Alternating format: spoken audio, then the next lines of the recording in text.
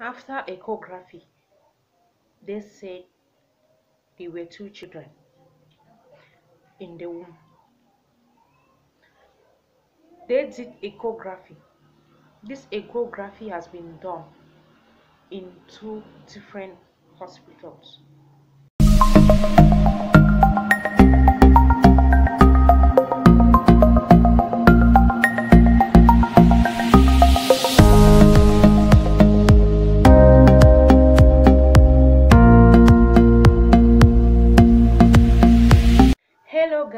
How are you guys doing? I hope you all are doing well. Thank you for tuning into salma's ideas. In today's video i'm just going to be advising every parent to be very careful. Things are happening. What is what are these african countries turning into? Especially the african countries yes. You know hospitals are supposed to be places we like some of the safe places hospitals are supposed to be hospital police stations and all those the stuff these are places we are supposed to feel safe when whenever we are there in you know whenever we are having a problem. Like these are places we are supposed to feel safe and protected.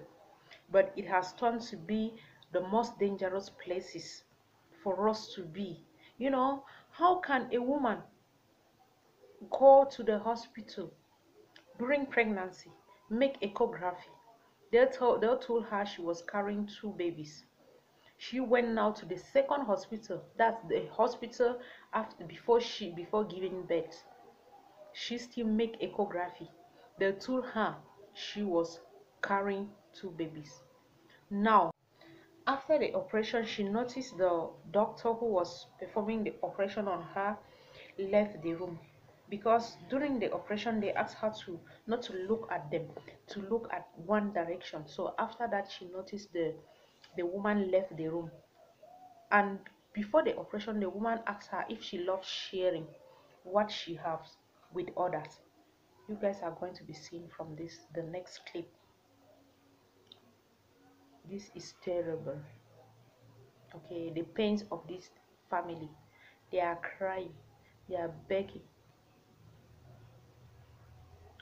for these people to give back their child their boy because it was she she was carrying two baby boys in her womb. One disappeared. Where is that one boy? Where did they take the one boy to? To whom did they sell the child? You guys are going to be seeing in the next clip bébé volé dans une formation sanitaire. Au-delà de l'enquête prescrite par le directeur de l'hôpital, je vous invite à suivre les investigations menées qui s'est effectué le 2 octobre dernier par césarienne à l'hôpital central de Yaoundé. Mais ce sont les circonstances dans lesquelles elle a accouché qui l'affaiblissent davantage. Le couple Betsem croit Dieu confère avoir mis au monde des jumeaux, et notamment deux garçons, et que l'un a curieusement disparu en salle d'opération. C'est comme ça qu'on m'amène au bloc dans l'après-midi, plus de 14 heures. Et on a chassé toute ma famille. Ceux même qui voulaient rester au pouvoir, on leur a dit on ne voit personne. Quand maintenant on me place sur la table, ils ont placé tout, le, le dispositif était prêt. Avant qu'on ne procède à l'opération, le chirurgien me dit Madame, est-ce que vous aimez partager avec les autres ce que vous avez?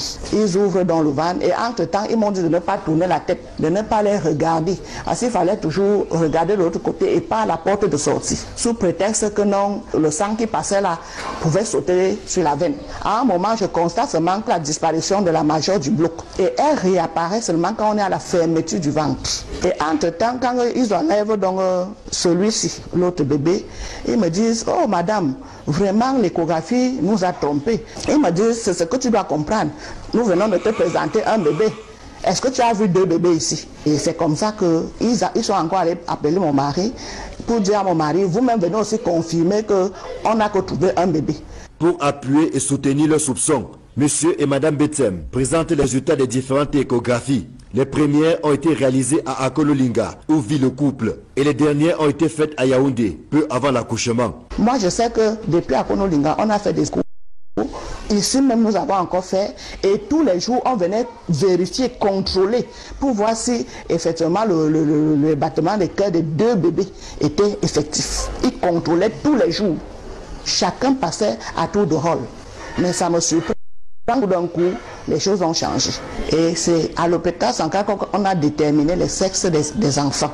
Ils m'ont dit que c'est deux garçons. J'étais très contente ce jour, sans savoir ce qui m'attendait après. Que s'est-il donc passé ce fameux 2 octobre, alors que le couple Betchem avait déjà pris toutes les dispositions pour accueillir non pas un, mais deux bébés?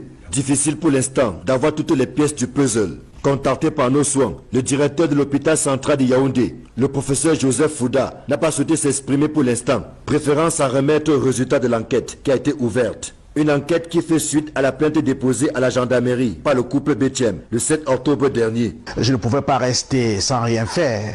On n'achète pas les enfants dans une boutique. La vie humaine a beaucoup de prix, donc j'étais obligé de porter plainte au niveau du 7. C'est ce qui a été fait le plus tôt possible. Le directeur dit non, euh, c'est inadmissible.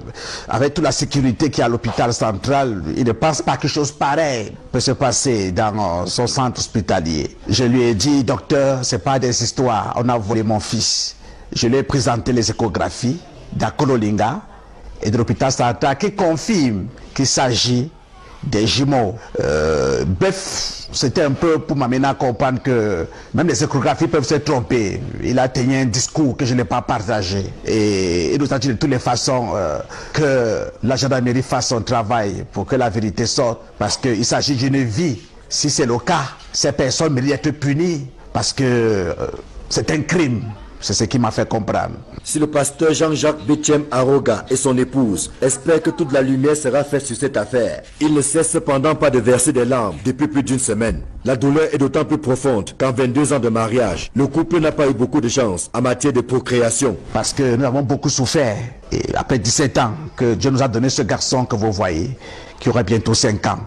Et Dieu a béni pour échouer nos larmes en nous donnant deux enfants. Mais comme le diable n'est pas content, il est jaloux, il a voulu enlever un. J'ai foi que par la grâce de Dieu, ce dernier sera retrouvé. Si vous êtes humain et que vous, vous connaissez ce qu'on appelle la douleur d'une mère, s'il vous plaît, rendez-moi mon enfant. Je veux rentrer avec mes deux enfants. J'ai fait 66 fausses couches. Ce n'est pas pour continuer encore à pleurer aujourd'hui. Rendez-moi mon enfant. En attendant, la famille se contente de bébé Pierre Ostrang Aroga et de l'aîné Jean-Jacques Caleb Bethem qui va bientôt souffler sur sa cinquième bougie. C'est l'unique enfant que le couple a pu avoir jusqu'ici. Désormais, la famille Bethem, dont le chef est pasteur à l'église messianique évangélique du Cameroun, ne vit que de prières. Dans la capitale économique